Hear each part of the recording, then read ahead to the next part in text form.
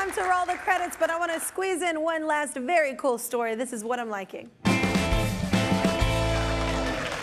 you may not realize, but nearly 3 million grandparents are raising their own grandkids. God bless them. Still, many of them struggle to get by. So a woman in Las Vegas is trying to make it easier for grandparents in her community through a program called Grants for Grands, which is the cutest program title. Um, let's welcome Joyce, everybody. Hi, Joyce.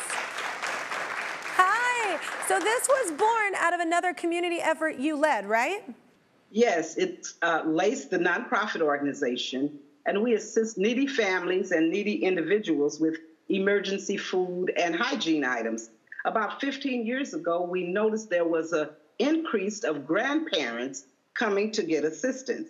And so out of that, I created the project Grants for Grands so that we could assist these grandparents that needed a little extra help um, they may have been uh, eligible for food stamps, but you can't buy Pampers and soap and deodorants and over the counter medications and the other household items that were needed.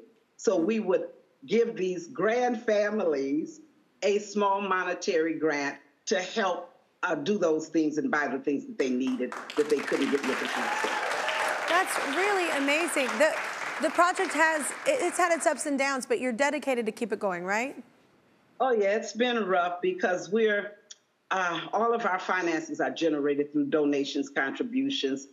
Uh, and so there have been times I'm thinking this has got to end. We can't do it any longer. Hmm. Then, about five years ago, a grandmother with a little five year old grandson came in. And as I was preparing the food for them, he was drawing this little picture.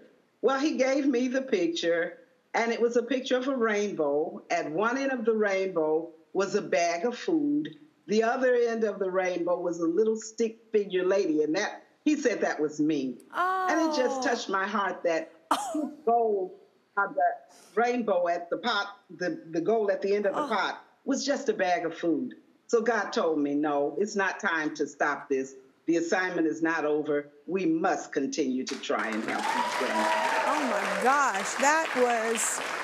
I did you hold it together when you saw that drawing? Because I'm I'm not doing well, Joyce. Um, that was so sweet. Oh my gosh. And that's got to make you feel good. You know you're on the right path. You know, when something like that happens, you know that you're supposed to be, this is what you're, you're the vessel for it, you know, and that's, that's a beautiful thing to be reminded of, especially when things get hard and you're trying to help people. So thank you so much, Joyce. I'm liking your post right now.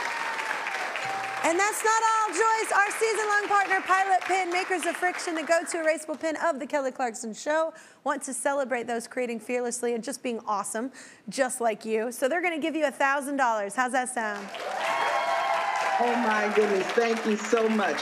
Much needed and much appreciated. All right. Hey, Joyce, I'm going to throw in an extra $1,000 as well because I just think what you're doing is really cool. Thank you so much for joining so us. Much. And thank you for what you do, Joyce.